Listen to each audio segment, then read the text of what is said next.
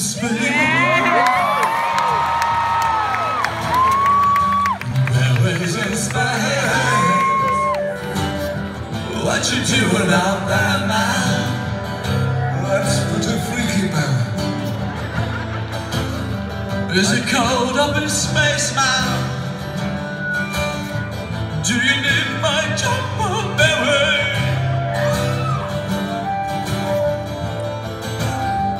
Does the cold of space make your nipples go all pointy, Dave?